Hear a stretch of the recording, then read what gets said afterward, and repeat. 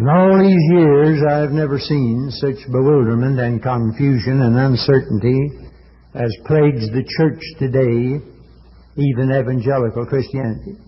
I've never seen so many preachers and Christians in general shaking their heads and wringing their hands and saying, I don't know what to think about this and I don't know what to think about that. I can't make up my mind about this or that.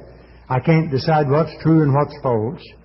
And we've developed a tolerance and a permissiveness and an acceptance and an acquiescence that was unthinkable only a few years ago. England's great preacher Joseph Parker said this about another of England's great preachers, his contemporary Spurgeon. The only colors that Mr. Spurgeon knew were black and white. With Mr. Spurgeon, you were either up or down, in or out, alive or dead. As for middle zones and graded lines of light compounded with shadow, in a graceful exercise of give and take, he only looked on them as heterodoxy and the implacable enemies of the metropolitan tabernacle. Mr. Spurgeon knew what he believed. But today, in this Laodicean age, we are neither cold nor hot. And don't forget that the Lord said He'd rather you be cold than warm. I can understand why He said I'd rather you be hot, but He said I'd rather you be a cold Christian than a warm Christian. I'd rather you be a cold church than a warm church. We've been brainwashed into a pleasant and middle of the roadism, trying to be neither nor in a day that's either or. The middle of the road's a poor place to drive. It's a poor place to walk. It's a poor place to live. Uh, we've had two wars lately that we neither won nor lost. Paul Harvey said we were afraid to win them and ashamed to lose them. It's about the truth of it. But Douglas MacArthur stood in Congress and said, in war, there's no substitute for victory. There is no such thing as peaceful coexistence with communism or the devil. Because communism is moral cancer and there's no such thing as peaceful coexistence with cancer. If you don't get the cancer, the cancer will get you. We hear a lot today about right-wingers and left-wingers, but that great black preacher out in Los Angeles, Dr. Hill, said, I don't belong to the right wing or the left wing. They're both flapping on the same old bird. and my Lord said in Matthew 12, said, He that is not with me is against me, and he that gathereth not with me scattereth abroad. That just leaves two kinds of folks as far as I can see. We ought to know where we stand. We're not of the night nor of darkness. We have the Bible, we have the Holy Spirit, we have the testimony of the church, we have the witness of history, and I hope we have sanctified common sense. And if we don't know, who does? There are too many Jehoshaphat's today who are lined up with Ahab on these silly expeditions to Ramoth Gilead, and 400 prophets saying, Go up and prosper. Where's old Micaiah, the lone dissenter, uh, the oddball? Joseph Parker said, This world always hates the 401st prophet. He was number 401. And he didn't go over so well with that crowd. I don't see any prophet today on the horizon. I see pastors, teachers, and evangelists, but no prophets. Now, these confederates of Ahab were not quislings. Jehoshaphat wasn't a quisling. He wasn't a bad man. He was a good man, but he was mistaken in his confederacies. And the most charitable thing one can say about some of the brethren today is they have no vision. They can't see through the fog.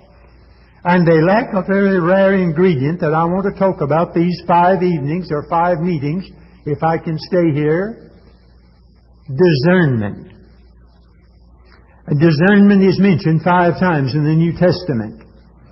Uh, the word discern is half brother to several other words distinguish, differentiate, discriminate. They all mean about the same thing. And we've never had so little of discernment, and I'm concerned for good and sometimes prominent people who, for lack of it, uh, don't know where they are. Some humble, plain soul may have it, while some prominent churchman may miss it. You remember when Paul started on his voyage to Rome, I read that he said we're in for trouble, but the captain of the ship said everything's going to be all right. They listened to the mariner instead of the minister and sailed away to shipwreck. They listened to the skipper instead of to the seer, and that's what people are doing today. Paul said, I perceive, but it says here, they presume. There's a lot of difference between the prophet who perceives and knows what time it is, and the people, and usually they're uh, the majority because it says the more part said, let's get going, and they went and sailed away to shipwreck because the south wind blew softly. And there's a soft south wind today blowing that deceives a lot of dear people. Discernment is just about the scarcest commodity in the church today and yet the Scripture gives it high priority. Tonight we'll think about the first one, 1 Corinthians 2.14. You know it well. But the natural man receiveth not the things of the Spirit of God, for they are foolishness unto him, neither can he know them, because they are spiritually discerned, discerning the truth. Tomorrow night we'll talk about, God willing, discerning the times, and then discerning the spirits, and then discerning the Lord's body, and then discerning good and evil. Tonight, discerning the truth. And this verse means the sons of Adam just cannot lay hold of the truth of God, no matter how high his intellectual status may be and his moral qualifications, he cannot comprehend divine truth. You might as well try to describe a sunset to a blind man or play music for a deaf man as to talk about the deep things of God to a man who never has been born again. That was the trouble with Nicodemus. He was a religious teacher, but he was ignorant of the kingdom of God and impotent to enter into it.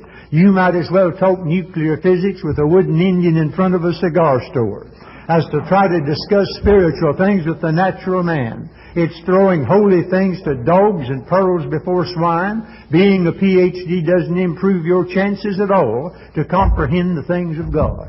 Because unless you have been touched from above, PhD can only mean phenomenal dud, as far as this is concerned. After all, what people need today is not light, they need sight. All the light in the world won't help a blind man. A blind man doesn't need light. He needs to see the light, but he won't do that till he has sight. Know how ignorant people are of that simple fact. It's so difficult for us pompous Americans, so proud of our learning, to believe that the commonest day laborer may apprehend divine truth while some of the literati may miss it altogether. Haven't you heard sometimes some humble preacher with a limited library preach nuggets of truth and gospel gems while some scholar missed it a mile? Now, if the little preacher had the scholar's library and the scholar had the little preacher's discernment, they'd really be in business. Blessed is the preacher who has both of them. Discernment is as important in hearing the truth as it is in preaching it, because it's not only important what we hear, it's how we hear it. I can't understand why some dear people can listen for 25 years to sound preaching and the next preacher who comes along may be a liberal and they listen with equal satisfaction. I don't know what they've been uh, doing with their ears. They don't have ears to hear, most assuredly. As long as the minister makes some nice reference to Jesus, they know no difference. It's lack of discernment. There's a preparation for the sermon as well as of the sermon. Wherefore, lay apart all filthiness and superfluity of naughtiness and receive with meekness the engrafted word which is able to save your souls. Everybody expects the preacher to be ready to preach. How many people ever think of the congregation's responsibility to be ready to hear the preaching? And that devolves upon us. And then think how little discernment we have in our singing. I've shuddered sometimes watching a congregation of comfortable Americans on Sunday morning singing to the old rugged cross. I'll ever be true, its shame and reproach gladly bear. And some of them haven't borne it any kind of way, let alone gladly. And I've heard them sing Faith of Our Fathers on Sunday morning. We will be true to thee till death. Most of them are not true enough to get back for the evening service. My Jesus, I love thee. I know thou art mine. For thee all the follies of sin I resign. They haven't resigned any of them. Don't intend to. I thought a while ago when you were singing We're Marching to Zion. I heard that one for years before I ever woke up to one of the verses. We're usually unconscious when we sing. Do you know that a while ago you were, or did you sing it? I don't know whether you sang all the verses or not, but that blessed one, the hill of Zion, yields a thousand sacred sweets. Before we reach the heavenly fields or walk the golden streets. You know what you were saying? I can taste heaven before I get there. I can have a little foretaste of it now. That's what Fanny Crosby meant when she said, Blessed assurance, Jesus is mine. Oh, what a foretaste. That's tasting the powers of the age to come, as Hebrews says. You know what Watchman Nee says about that. That jumped out of the page and grabbed me several years ago. Tasting the powers of the age to come. I can do it now. And yet I wonder how many ever realize when they sing that precious verse what they're saying. If we discern the meaning of what we sing we're honest, some of us couldn't make it through the second verse. And some of us would choke before we got to the chorus. I will sing with the Spirit.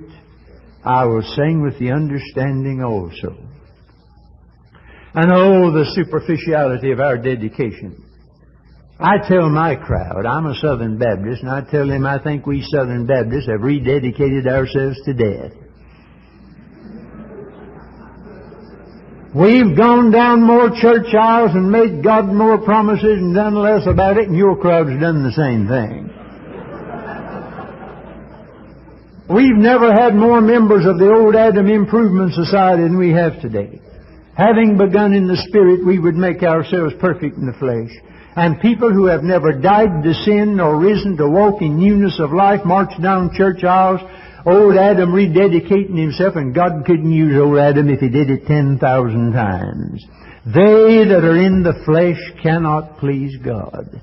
That verse ought to be hung up in every church of America. You simply can't please God in the flesh. And why does the Bible say that God has not chosen many wise, mighty, and noble, that no flesh should glory in His presence? The Bible says there are four kinds of people who just aren't going to heaven in big numbers. The rich, the wise, the mighty, and the noble. Jesus said not many rich people would make it. Because money is dangerous. Money is the most dangerous thing on earth. I think it's more dangerous than liquor or sex or anything else. The love of money is the root of all evil. You say, well, that says the love of money. Yes, but if you didn't have the money, you wouldn't have the love of money. It's a dangerous thing. And it's pretty hard for a rich man to get to heaven. And then the wise, the intellectuals, they're trying to get their head first and you get their heart first. And the only thing I know of that's got its head and heart in the same place is cabbage, and you're no cabbage. You got the heart first. And then I read that not many mighty. How many presidents of the United States can you think of that you believe were born again, spirit filled, New Testament Christians? It's pretty discouraging. And not many noble. That's the blue bloods, the aristocrats, always bragging about their ancestry. You know the best thing about this ancestor business, good deal like sweet potatoes. The best part's usually under the ground. That won't take you there either. God doesn't accept old Adam, though he dedicated himself a thousand times. Old Adam was crucified. We died. And our lives are hid with Christ in God, and we're to put on the new man. And neither the natural nor the carnal man can glorify God. You remember Ezekiel's vision of that valley of dry bones. Sometimes on Sunday morning, many a service, first thing I can think of is I look over the crowd. I hear that old verse, can these dry bones live? Did you ever go to a dry bones convention?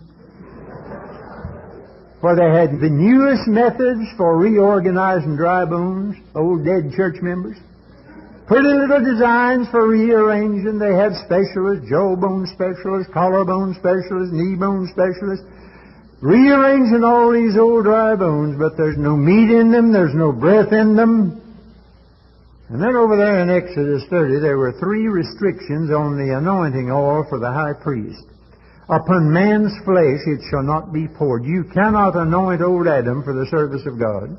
In the second place, there was to be no imitation, because you cannot compound the anointing oil of God in any apothecary shop of this world. You can't function without unction. They used to call it unction. I don't hear that word much anymore. But the preacher who tries to function without unction will spend all his time taxiing down to the runway and never take off. Never get anywhere. And then you don't put any of it on a stranger, somebody who doesn't belong to the fellowship of the believers. Paul says that spiritual truth is foolishness to the natural man, and the Word is the one from which we get moron. It's moronic to the old Adam, for he doesn't have any discernment. He may be able to discuss good poetry and he may understand chemical solutions and the answers to the problems in big business, and he may know how to locate bugs in engineering, but such ability is of no value in comprehending the things of God. We're suffering from an awful ignorance of divine truth because there's another kind of discernment. You don't get it in a university. You pray it down. James said if you lack wisdom, not knowledge, if you want knowledge, go to school, but if you lack wisdom, get on your knees. Let him ask of God. You don't get wisdom in school, you get knowledge. Wisdom's the proper use of knowledge. Yes. If you need wisdom, it comes down. Like everything else that God ever sends, the Savior came down, the Holy Spirit came down, every good and perfect gift comes down, the New Jerusalem comes down, God deals from above, and if you need wisdom, get on your knees.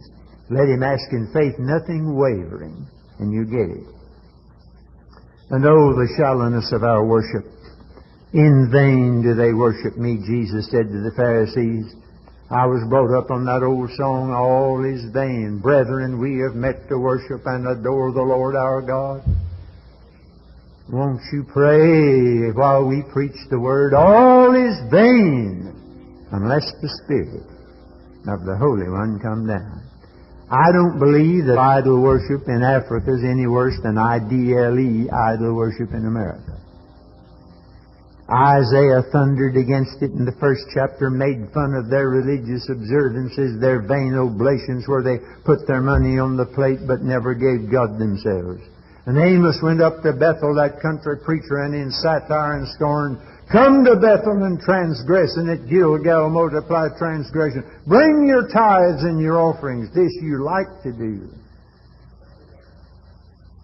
Many a Sunday morning sermon is an exercise in futility because he's preaching to natural and carnal people who hearing hear not.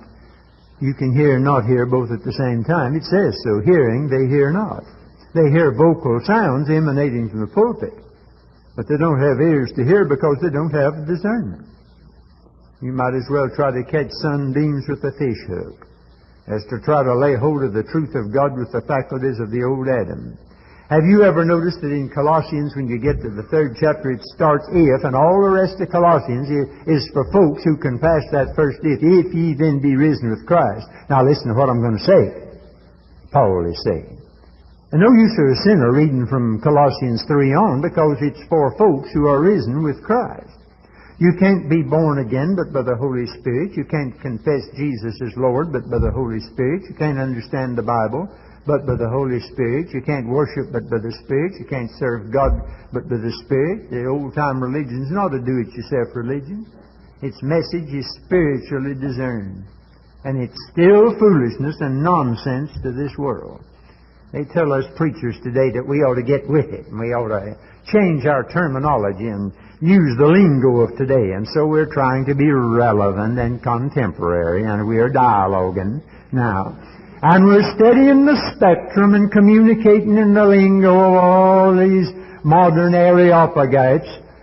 What difference does it make what you call it? it used to be itch and now it's allergy, but you scratch just the same. Then there's the notion that we must make the gospel acceptable to the wisdom of this world. You can't do that. The Bible plainly says it's nonsense to this world. It's moronic to this world. And it was a long time ago that a great old saint said, get it, if the preaching of the cross is to this world foolishness, that of necessity makes the preachers of the cross to this world fools. Think that one over. If you're preaching something that's foolishness to them, that makes you a fool to them. There aren't but two kinds of fools anyhow. Professing themselves to be wise, they became fools, and fools for Christ's sake. Take your pick. I think about that half-wit that had more sense than some whole wits going down the street with a sign in front of him, I'm a fool for Jesus.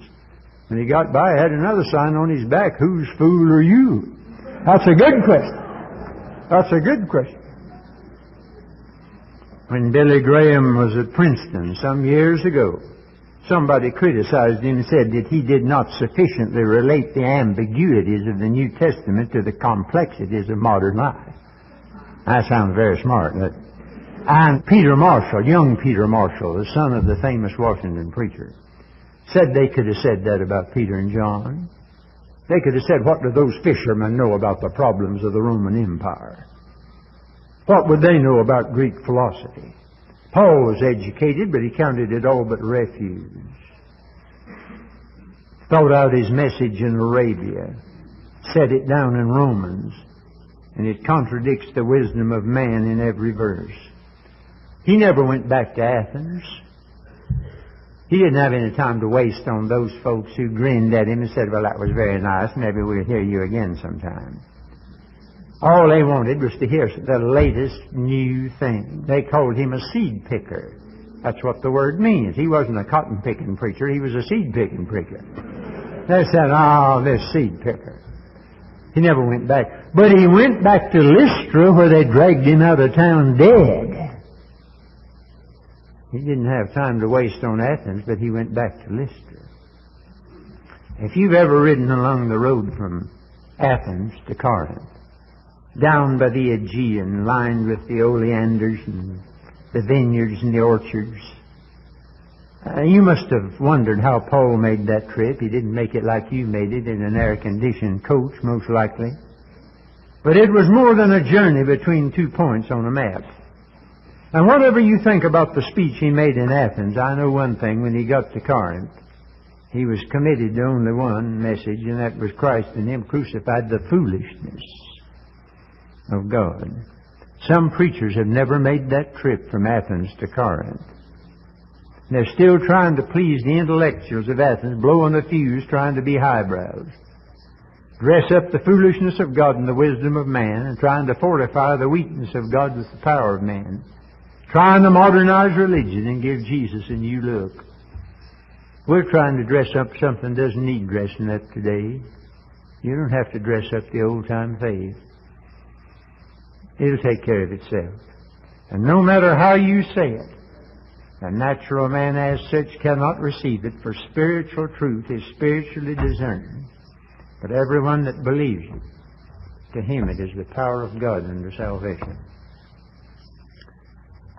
And I don't believe you can get this many people together without somebody in the crowd who may still be trying to apprehend spiritual truth that the faculties that you were born with. And you can't do it. You may have trained those faculties very well at school and have a high IQ and all the rest of it. But you are absolutely helpless to discern the things of God with that equipment. Now don't come up and argue about it because what you need is not more light, you need sight. And when you're born again by faith in Jesus Christ, that's the eye opener. And you see then what you never could have seen before because you've been blind. And you begin to live what you never lived before because you were dead. The natural man can't take it in, so don't bother trying. There's no use arguing with a fellow beyond getting to the new birth because anything beyond that, he doesn't know what he's talking about anyhow could be here tonight that there's somebody who has just that trouble. And you are trying to figure out all these things from the standpoint of old Adam, and old Adam can't figure it out. But whenever you find out that old Adam died and was buried with Jesus Christ, and when Jesus came up, he started a new race, and he's the Adam of that new race. And when you join that new race, as many as received him, to them gave he power to become the sons of God, even to them that believe in his name, you'll understand it. It's quite possible that you could come to Ben Lippen and be in that predicament. And if so, I pray that you may humble yourself as a little child and let God open your eyes and by regeneration give you the faculty of perceiving what you never could lay hold of otherwise. Our Father, we thank Thee that we have not been left in this world without the necessary equipment for laying hold of divine truth, but we get it from Thee. Wilt Thou take what we've tried to say tonight and show us that The natural man can't take it in. And if there's anybody here still in the old Adam trying to take it in, trying to apprehend, trying to comprehend, bring them to the point where they, by the miracle of the new birth, are given the faculty, the ability to lay hold of the things of God. Bless this meditation of our